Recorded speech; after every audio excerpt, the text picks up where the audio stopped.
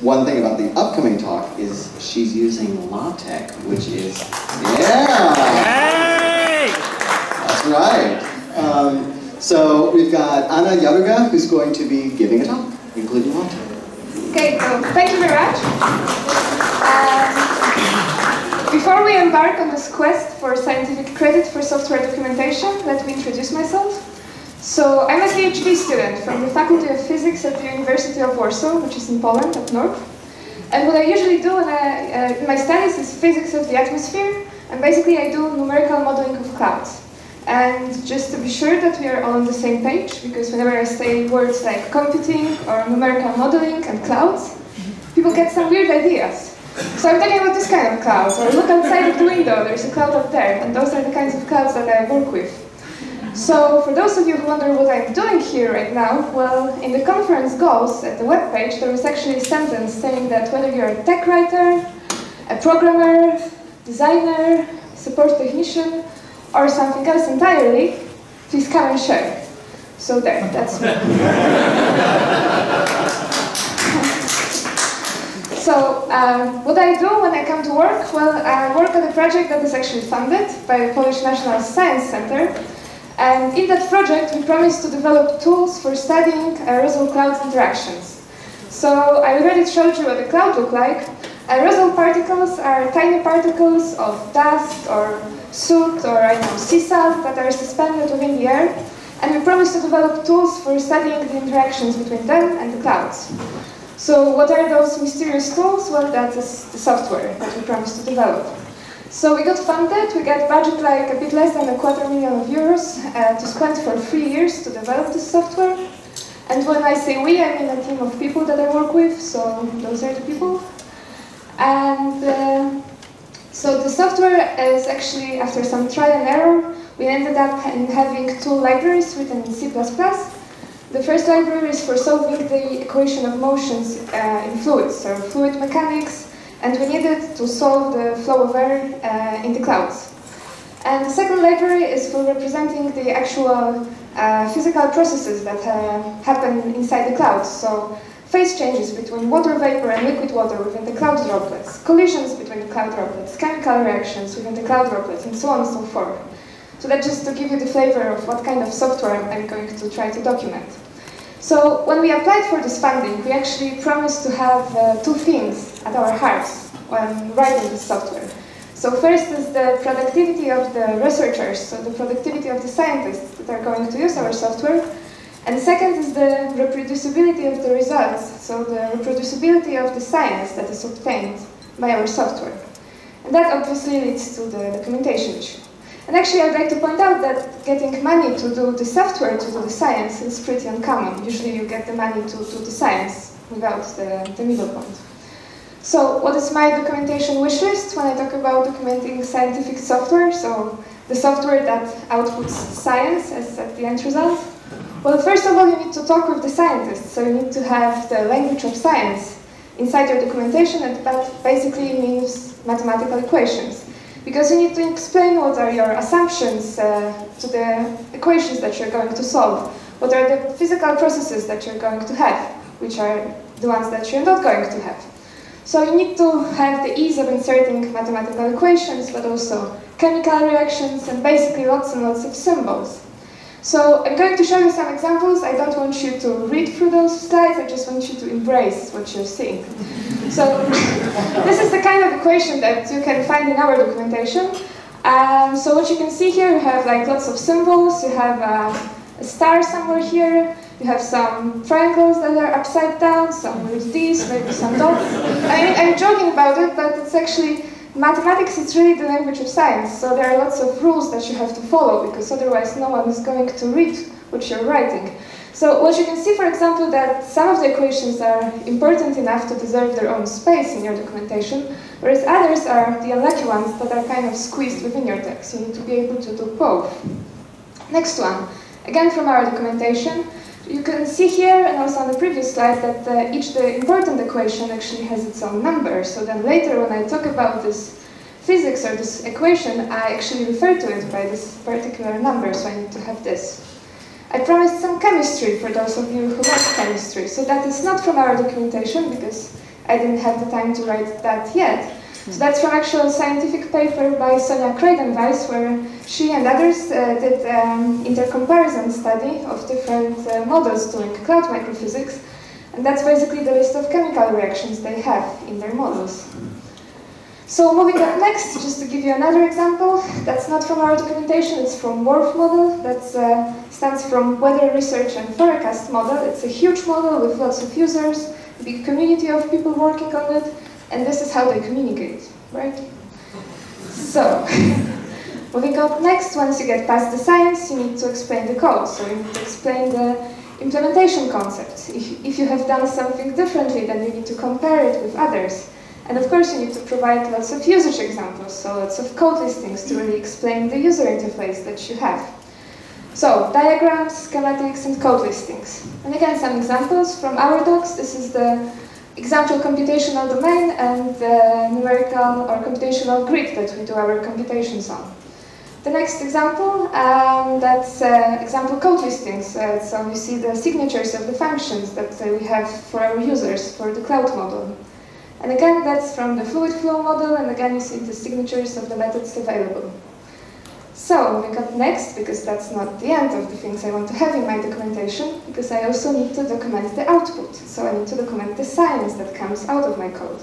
So how can you do it? How can you document the scientific results?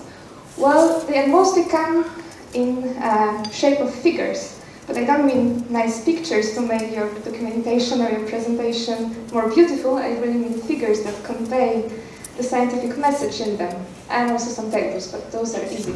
Because figures, they need to be treated properly, the same as with the equations. There are certain rules to follow. And basically, you have to use vector graphics for your figures. And I'll show you why.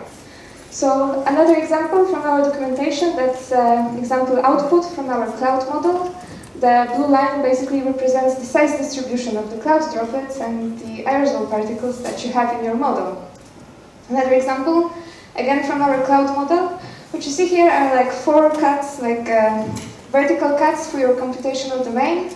Uh, that's like the vertical axis, that's the horizontal axis. So here you have a cloud droplet concentration, so you can basically that, see that you have a cloud in the upper part of your domain. But look here, there's no cloud. Why is that? Well, here you have a plot with uh, the rain on it. So you can see that actually the rain develops and it's kind of eating out the, the water, by, the water, the liquid water from your cloud. If you see here, there is the plot with the aerosol concentration, so those tiny particles of dust and sea salt and so on that you have in your air. And uh, I should probably say, the more red it is, the more stuff you have on your plot. So you can see that where the cloud is, the air is cleaner, and then if the rains fall out, it's getting even more clean. And I'm saying all this just to give you the impression of the information content that is hidden in those figures that I'm showing to you. So just another example, that's from our fluid flow solver. That's another like test slash usage example from our readers. Uh, oh, go back, go back. So here. So you start with a we start with a bubble of air that is uh, circular in shape and it's uh, 0.5 degrees C warmer than the surrounding air. And if you remember something from your physics classes, if the air is warmer, it should go up.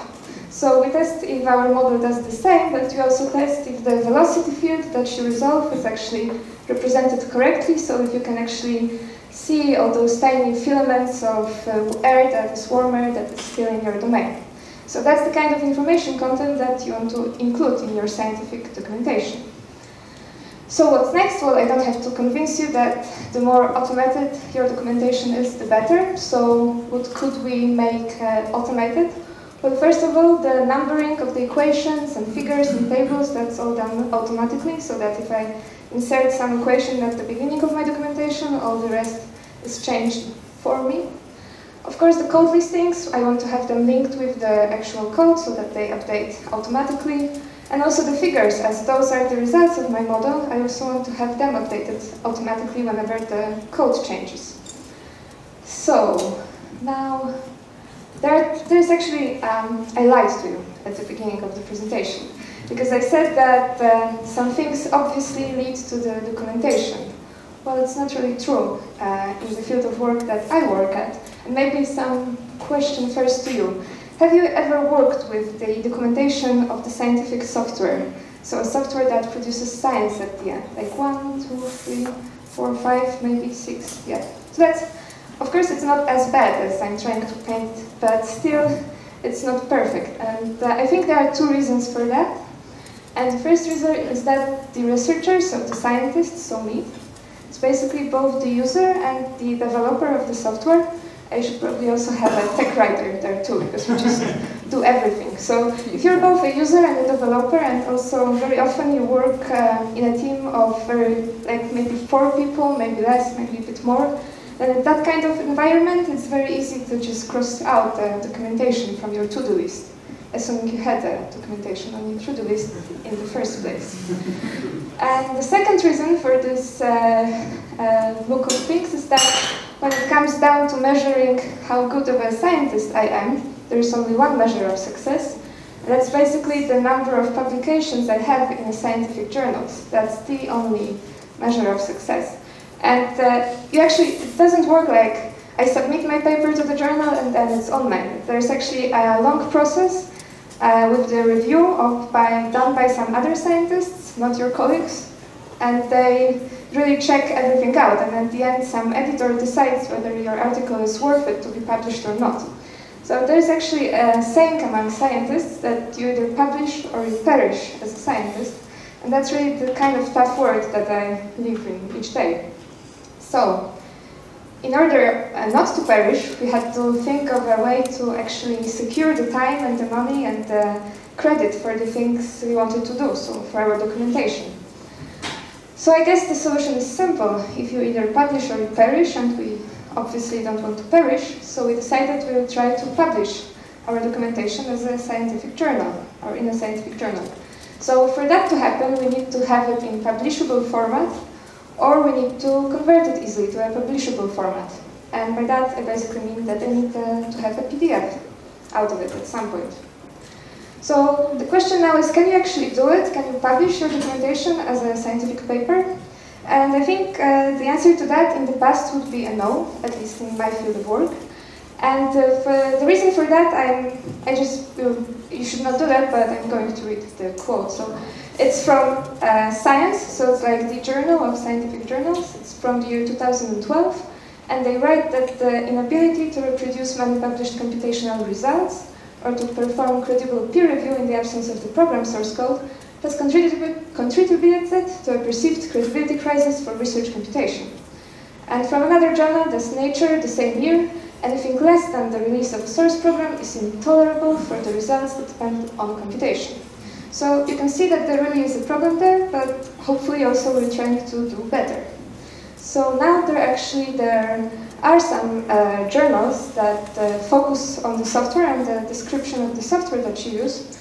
One of them is the Geoscientific Model Development, that's the one we tried to publish our docs in, and they have in their policy that the paper must be accompanied by the code, and that the reviewers of the article are strongly encouraged to compile the code and run the tests and really check both the manuscript and the code with it. So, how did we do it? Well, from the beginning we structured our documentation as a scientific article, that means we had an abstract, an introduction, where we gave our motivation, why do we want to develop the software. Then we had um, a bunch of chapters when we were like telling a story, leading our reader from the basic examples to the more difficult ones, explaining both the science and the software along. We even have a conclusion, chapter at the end of it. And it also means that it was a PDF from the start. Then all the documentation was uh, generated with an open source software, and that software is named LaTeX, or LaTeX, or whatever you want to say about it. And I was actually wondering if I have to say something about what that is. So for those of you who don't know, it's a word processor program. You write uh, in plain text only, and then based on the tags that you write along with your text, it converts the text to either an article, a presentation like this one, a poster, or whatever you want.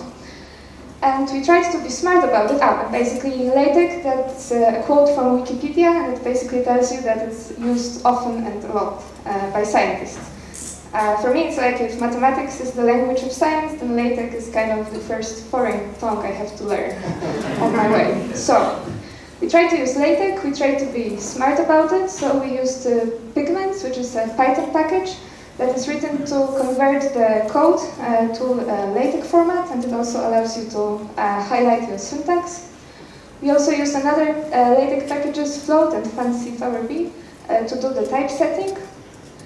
Uh, so in the end, we had our listings uh, generated automatically, and we also made sure that the figure, figures are automatic as well. Uh, LaTeX supports uh, vector graphics for figures, and it also by default allows you to do the cross-referencing of your equations and figures and things like this. So we did it. I mean, I wouldn't be here if we did not manage to publish both of our documentations. So this is the first page of the documentation of the fluid flow model, and that's the first page of our documentation of the cloud model. Now, so you see the effect. I mean, I'm not going to show you the content because all the examples actually were taken from those two papers. So the thing is now, what can I tell you about the journey? Or maybe more honest question would be, how much did that cost? So in terms of time, it's actually a scientific tradition to have a, a timestamp uh, at the first page of your article to give uh, an idea how much, how long did it take to, to reach a final stage. So let me show you a zoom in of this. So you can see a couple of stages. So first it's like between received and published in the discussion format. That's from the 18th of August till the 26th of November. So that's like three months. So what happens during that time? Well, first there was this first typesetting check of our manuscript by the typesetting team from the journal. Then they had to find the editor and they also had to find the those two reviewers that were going to read through the code and read through our documentation and uh, give their feedback. And we also had to convert our manuscript to a discussion format, and in a bit I'm going to tell you what that is. Then, from the discussion to the revised, that's from the 26th of November till the 2nd of March, so it's November, December, January, so it's three months again. And for the second documentation, that's actually four months. So what happened then? Well, this is the time of the public discussion, so everyone who wanted, and those two reviewers, they had to read through it and then uh, submit their fruitful um, tips and they had to point out all the mistakes. We had to reply to the reviewers, so we had to either defend our points or correct our mistakes, both in the documentation and in the source code. And that's not the end of it, then you have to wait between revised and accepted stage, and that's uh, the time where the reviewer actually thinks whether and decides whether the scientific paper should be published or whether it should be rejected. So it took just one day for the first documentation yay, to get accepted, and 19 days for the other, which is still okay. But that's not the end of it. You still need to reach the final stage, which is published, and that took us like one month for the, each of those articles to, to get there. So what happens then? Well, it's basically typesetting and uh, typesetting and typesetting again. It's kind of like iterative process. The journal team sends you the final manuscript, you send them back the list of the corrections, they send you the final manuscript, you send them back the list of the correction, and it goes like on and on. I think they just want to tire you out, and at some point you just learn to accept it.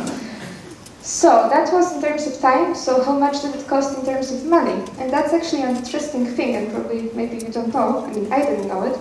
There are actually two types of scientific journals. The first ones, they work kind of like uh, buying a book uh, from internet. So you want to read the content, you have to pay. Well, obviously that's not a good thing to place your documentation there, because no one is going to read it. So we had to put it in a scientific journal that is open access.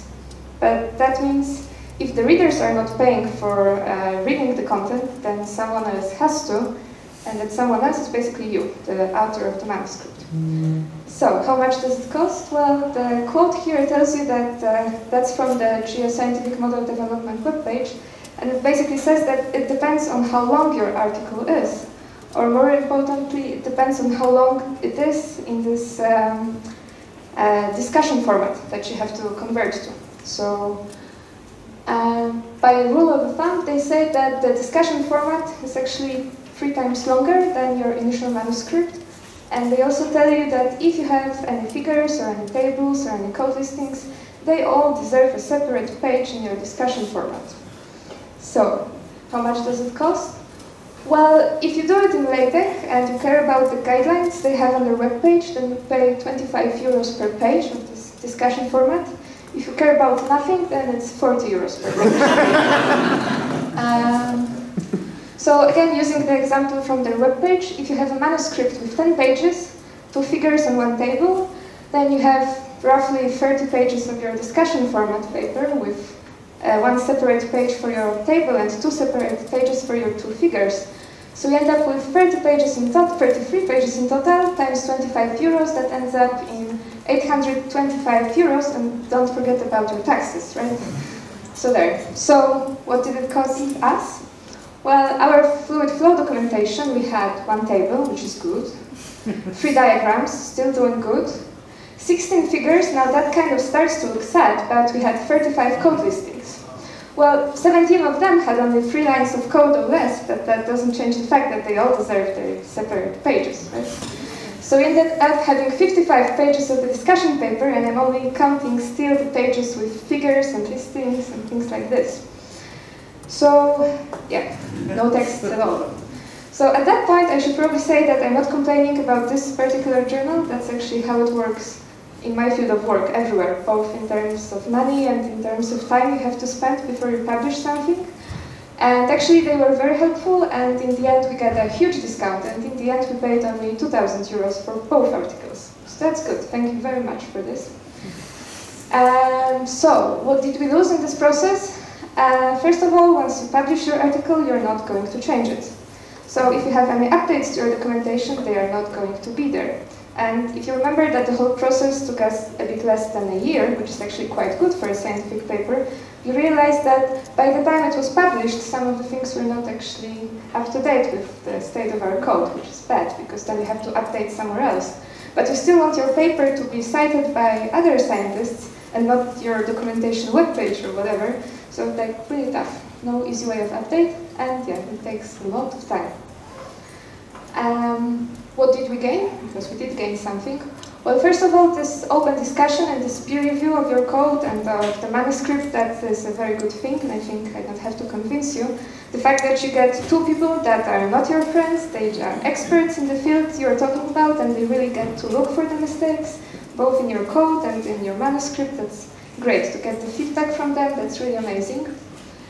And the second, we get typesetting, lots of it. We got uh, web publication, we got uh, archiving, things like this.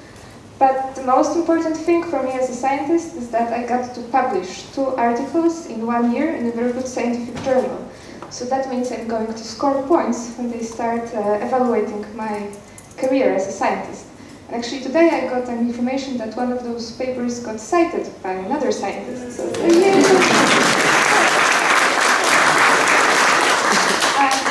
on a personal level, uh, I got points for publications, and that came very helpful when I submitted my own science proposal for the first time.